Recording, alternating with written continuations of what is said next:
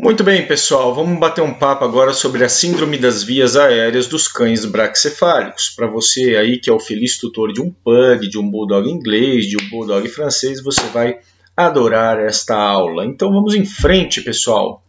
Bom, professor, o que é exatamente a síndrome braxcefálica? É um conjunto de anormalidades anatômicas muito proeminente nesses cães. Isso se deve fundamentalmente à seleção genética ao longo de muitos anos, de muitas décadas feitas pelo homem para priorizar algumas características anatômicas, o que acabou por selecionar essas características que acabam prejudicando esses animais. De maneira geral, duas são as consequências dessas anormalidades anatômicas a restrição ao fluxo de ar, portanto, uma dificuldade em mobilizar o ar do meio ambiente para o seu alvéolo para que ocorra hematose, para que ocorra troca gasosa. Vocês vão ver que existe uma série de bloqueios no meio do caminho.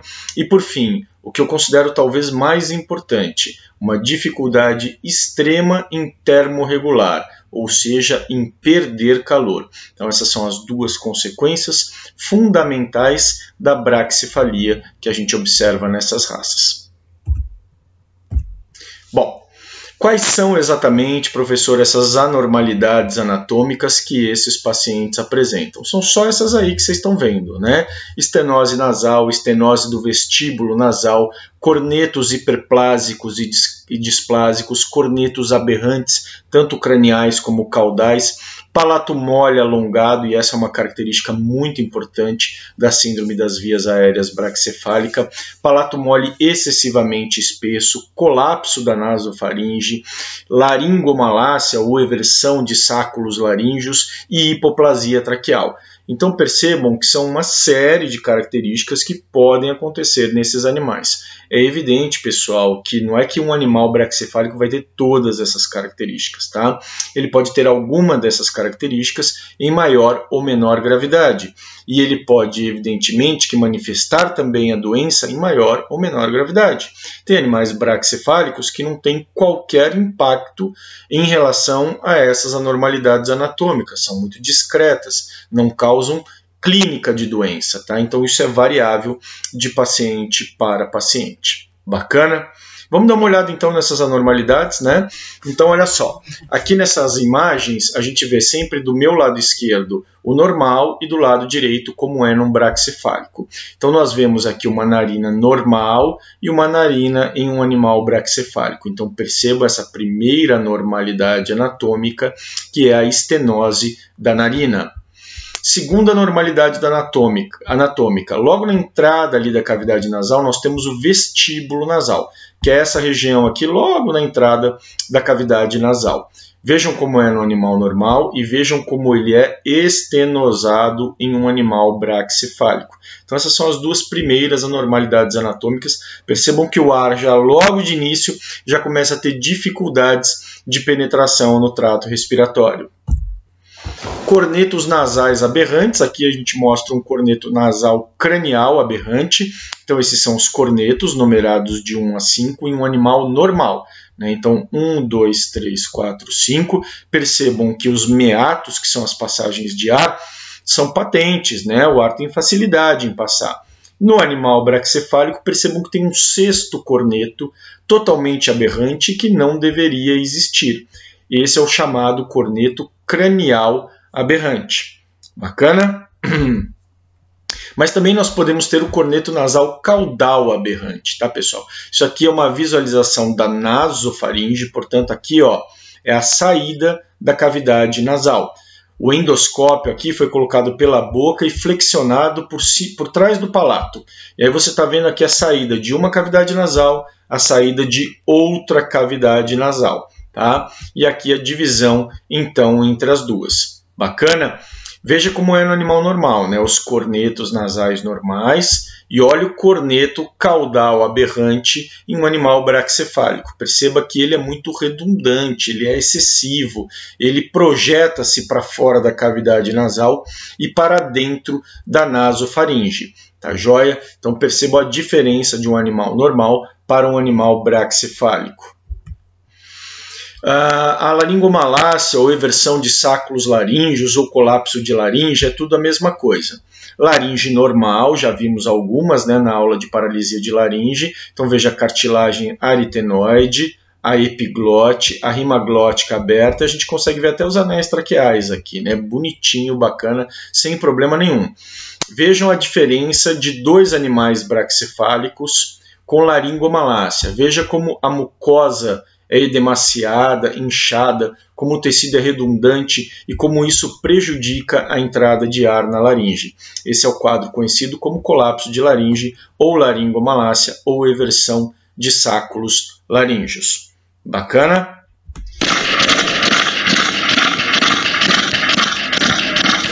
O que eu estou vendo aí, professor? Você está vendo um palato mole excessivamente alongado em um cão bulldog inglês. Então percebam como vou passar o filme de novo. Prestem atenção como o palato é longo e ele se movimenta durante a respiração.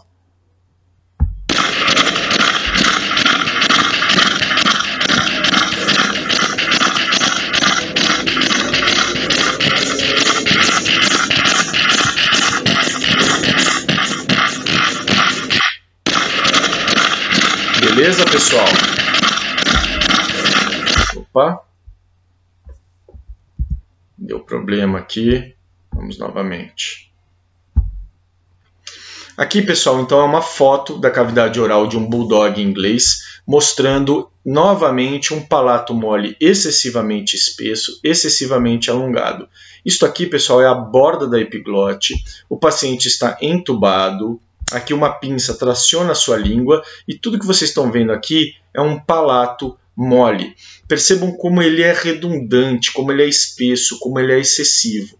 Então, tudo isso, pessoal, prejudica muito o fluxo de ar nas vias respiratórias. Vocês viram no vídeo anterior esse palato vibrando durante a respiração, e aqui vocês veem como ele se projeta para além da epiglote, prejudicando a passagem de ar nesse paciente. No exame radiográfico, a gente mostra então uma outra normalidade, que é a hipoplasia de traqueia. Isso aqui é o exame radiográfico de um bulldog inglês de aproximadamente 25 a 30 quilos. Ele tem a traqueia do tamanho de um pulo de 5 quilos. É muito pequena essa traqueia. Né? Isso isoladamente não causaria grande problema, mas no contexto de todas as outras anormalidades, isso acaba sendo problemático. E por fim, pessoal, Olha a diferença de uma nasofaringe. Para quem não lembra o que é nasofaringe, pessoal, a nasofaringe é aquela porção da faringe é, acima do palato mole, que faz parte do trato respiratório. Então, quando acaba a cavidade nasal, você tem a nasofaringe, que segue-se então com a laringe logo na sequência. Olha só, isso é uma tomografia computadorizada de um animal normal. Então, isso aqui é o tubo endotraqueal, este aqui é o palato e essa é a nasofaringe. Essa é a visualização por endoscopia. Percebam como a nasofaringe ela é patente, ela permite tranquilamente a passagem do ar. Agora veja num paciente braxcefálico, o excesso de tecido na boca, ao redor das vias respiratórias, acaba por comprimir a nasofaringe. Veja a própria cavidade oral, como é diminuta, e vejam como a nasofaringe é pequena. Vejam a visualização endoscópica e comparem com o normal. Percebam que o tecido ao redor é um tecido flácido, não é? É um tecido que tende ao colapso, ao fechamento. E percebam que essa região é uma região que é submetida a alterações pressóricas durante a respiração. Quando inspira, evidentemente que há uma pressão negativa para o ar entrar. E qual é a tendência num tecido que é flácido quando o animal inspira? Fazer assim, ó, fechar. Correto? Perfeito, pessoal? Entenderam bem? Esse é o modelo que a gente chama de carne na caixa, o que significa é muito tecido ao redor das vias respiratórias. Muito tecido, tecido redundante, tecido excessivo e tecido flácido, que faz com que essas vias aéreas, por exemplo, a nasofaringe, tenda ao colapso. Entenderam, pessoal? Muito bem, pessoal, vocês viram então que existe uma série de anormalidades anatômicas que dificultam sobremaneira a passagem do ar, ou seja, a mobilização do ar atmosférico para dentro do alvéolo, que é onde ele tem que chegar, para que ocorram as trocas gasosas. A dificuldade já começa ali na entrada da, da cavidade nasal, narinas estenóticas, depois vem o vestíbulo estenótico, cornetos nasais aberrantes, rostrais e caudais, nasofaringe, que é estreita e tende ao colapso, laringomalácia, palato mole alongado, hipoplasia de traqueia, ufa, é muita dificuldade para este ar passar. Tá? E o tratamento de tudo isso vai envolver a correção de algumas anormalidades anatômicas. A cirurgia que será realizada, ou as cirurgias que serão realizadas, vai, vão depender muito de qual anormalidade anatômica está trazendo mais impacto clínico para aquele paciente em questão. Tá? Então, é, está diretamente relacionado ao diagnóstico clínico de qual realmente deformidade acaba por prejudicar mais esse paciente. Entre as técnicas que podem ser utilizadas, a gente inclui a ressecção do palato mole, então para retirar parte daquele palato excessivo, redundante, isso ajuda o fluxo de ar para esses pacientes, é uma das técnicas mais utilizadas. O alargamento das narinas e a vestibuloplastia para abrir a entrada ali da região da, da cavidade nasal. Uh, no exterior é feito também a retirada, a ressecção dos cornetos aberrantes com laser. No Brasil eu nunca vi essa técnica sendo realizada. Não sei dizer para vocês se isso já está sendo feito aqui no Brasil. Enfim, existe uma série de técnicas cirúrgicas que podem ajudar a melhorar a qualidade de vida desses pacientes. Do ponto de vista clínico, eu diria que uma coisa é fundamental é a perda de peso. Eu já falei para vocês, quer dizer, é, vocês ainda vão ver, melhor dizendo, na aula de colapso de traqueia, eu comentando sobre a obesidade e os problemas respiratórios. Tá? A obesidade atrapalha quase todos os problemas respiratórios, as enfermidades que envolvem o sistema respiratório. E a perda de peso nesses animais pode ajudar sobremaneira na melhora de qualidade de vida. Tá? Uh, as cirurgias são relativamente simples. O grande problema e a grande dificuldade é o pós-operatório. Tá? Depois da cirurgia, depois de você mexer, por exemplo, num palato mole alongado, existe uma chance bastante razoável de ter muito edema na região e ter então obstrução do fluxo de ar aguda com óbito do paciente. Tá? Uma vez eu lembro que foi operado um paciente bulldog num hospital onde eu trabalhava e ele nem fez cirurgia de via aérea, ele tinha feito uma cirurgia oftálmica na parte da manhã. Três horas da tarde, ele já acordado, ele teve um edema de laringe e foi, precisou ser entubado às pressas. Se não tivesse ninguém olhando, ele tinha falecido. Então, o braxcefálico é muito complicado no que diz respeito às suas vias respiratórias. Quando você mexe lá, você corta, você sutura, mexe naquilo ali, você tem uma tendência, evidentemente, se desenvolve edema, processo inflamatório. Então, o pós-operatório, uma estrutura de CTI, de acompanhamento intensivo, é absolutamente fundamental nesses pacientes. Show, pessoal? Vamos dar uma olhada então. Olha só, um paciente bulldog inglês com quase 40 quilos, né? Esse é o Zé. O Zé é praticamente uma mesinha de centro, né? Muito obeso. Isso dificultava muito para ele a respiração. Ele já era um braxcefálico bem importante, assim, é, do ponto de vista de alterações anatômicas, e conforme ele foi engordando, o problema foi piorando ao longo do tempo. Ele mal conseguia dar uma volta no quarteirão. Aqui a gente vê um vídeo, pessoal, de um paciente bulldog de 6 meses de idade que, em função da sua síndrome braxcefálica, aspirava o alimento. Eu intubei esse paciente, a gente vê comida saindo pelo tubo respiratório. Então ele havia grande quantidade de alimento aspirado para dentro das vias respiratórias, tá? Então isso é uma outra complicação que deve ser levada em consideração.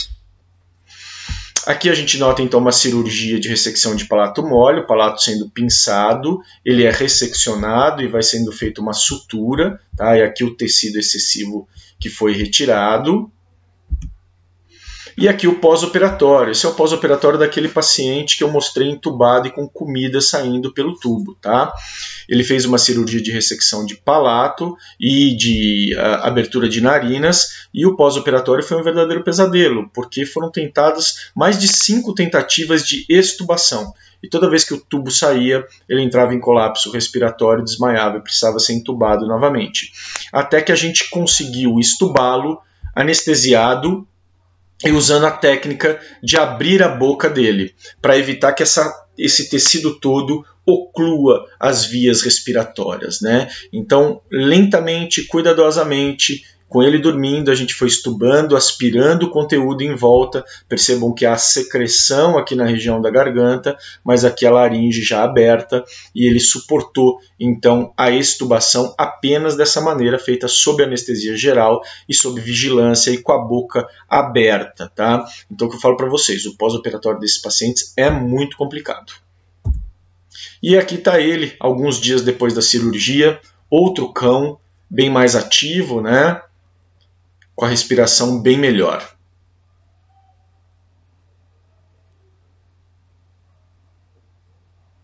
Muito bem. Bom, uma outra consideração importante é em relação à termorregulação, que eu falei para vocês que eu considero até mais grave, mais sério do que a própria dificuldade de passagem do ar. Tá? Esses animais têm sensibilidade extrema ao calor. Por quê?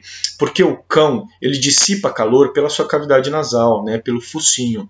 Então, se você pega um dia muito quente, um pastor alemão que dá uma corrida, né, ele vai arfar, ele vai ficar com aquela língua para fora, vai arfar durante meia hora, mas daqui a pouco ele está normal. Se você faz isso com um bulldog inglês, ele não vai parar de arfar ele vai arfar durante muito tempo, ele vai ter muita dificuldade em dissipar calor. E isso é particularmente perigoso. Não é incomum em exposições de bulldog inglês você ter óbitos por questão de intermação, tá? que é justamente essa subida grave, patológica da temperatura em função da dificuldade de dissipar calor. E tudo isso se deve fundamentalmente a um focinho excessivamente achatado. Então, o mecanismo normal de dissipação, que inclui a mucosa lamelar e a glândula nasal lateral, ficam extremamente prejudicados. Né? Então, a transferência de calor rápida e eficaz que ocorre na região da cavidade nasal, ela é perdida ou muito minimizada. E esses animais, então, sofrem muito com o calor e podem inclusive morrer numa situação dessas se submetidos a uma alta temperatura. Tá? Eles entram em quadro de intermação e, arfando excessivamente, entram em colapso respiratório. Vou mostrar para vocês um vídeo agora de uma paciente que foi para o hospital para vacinar. E olha o que aconteceu com ela.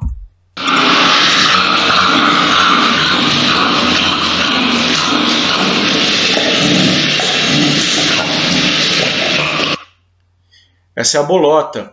E a bolota foi vacinar e estava um dia muito quente, sem ar condicionado no carro. Ela chegou dessa maneira, foi para vacinar e ficou internada porque a temperatura dela estava acima de 41 graus. Tá? Isso é muito perigoso e o paciente realmente entra em colapso respiratório. Tá bom, pessoal? Bom, para a gente terminar então essa aula sobre braxicefalia, eu falei para vocês no início da aula que é, muito dessa síndrome é originada então da própria seleção genética feita pelo ser humano, tá, que veio selecionando características ao seu bel prazer para que chegasse uma determinada conformação anatômica que ele acha apropriada, que ele acha bonita, o padrão da raça. Tá? Só que isso teve um impacto muito grave para esses animais. A qualidade de vida deles costuma ser muito prejudicada. Tá? São animais adoráveis, mas que vivem pouco Tá? Uh, eu, particularmente, desses pacientes todos que eu mostrei aqui para você, foram todos pacientes que eu acompanhei. O que viveu mais foi o Zé, que viveu em torno de 7 a 8 anos de idade. Tá? A maioria morreu com 5, 6 anos de idade, muitos com complicação então da síndrome braxcefálica. Então, nesse contexto, é importante que o médico veterinário exerça seu papel de alertar, de esclarecer, porque uh, ter um animal com focinho pouco mais comprido vai melhorar de sobremaneira a qualidade de vida desses animais e não vai fazer esses animais serem menos adoráveis, menos companheiros, nada nesse sentido, evidentemente. Né? Então é preciso recuperar características desses animais ao longo dos próximos anos que melhore a qualidade de vida deles. Tá joia, pessoal? Então finalizamos a síndrome da via aérea dos braxcefálicos e na aula que vem a gente volta para falar de enfermidades de traqueia. Até mais, pessoal!